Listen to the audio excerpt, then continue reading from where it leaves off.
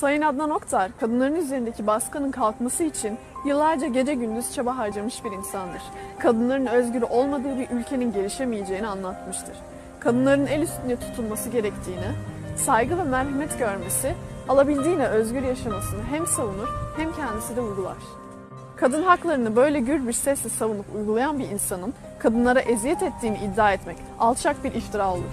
Böyle bir iftira ancak haset, kin veya öfkenin eseri olabilir. Bu iftira Adnan Oktar'ın yanında güzel, nezih, kaliteli bayanların toplanmasına müthiş haset eden bir ekibin eseri. Zorla alıkonulma varsa bayan arkadaşlarım neden bir yıldır ağır cezaevi koşullarında kalmayı seçtiler? Çünkü Sayın Adnan Oktar'a derin bir sevgi bağıyla yanındalar. Onun yanında çok huzurlular ve kendilerini güvende hissediyorlar. Şu an cezaevinde bulunan kız arkadaşlarım Adnan Bey'e sevgilerini ve iftiralara cevaplarını mektupları ile dile getiriyorlar. Günlerim tefekkür, sabır, şükür içinde geçiyor. Hapis ortamının yıpratıcı olduğunu düşünürdüm ama kalbi Allah'la olan için müthiş bir nimetmiş. Ailem de Adnan Bey'i çok seviyor, çok saygı duyuyor. Onlar da Adnan Bey'in güzel ahlakına şahit oldu.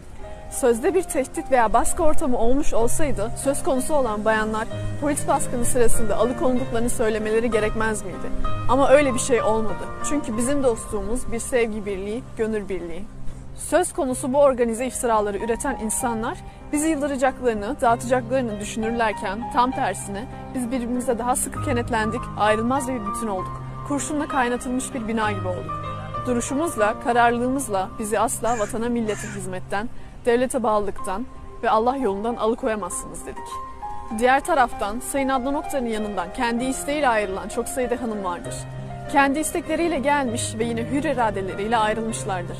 Zorla alıkonulma iftirası hiçbir mantığı, dayanağı olmayan çürük bir safsatadır.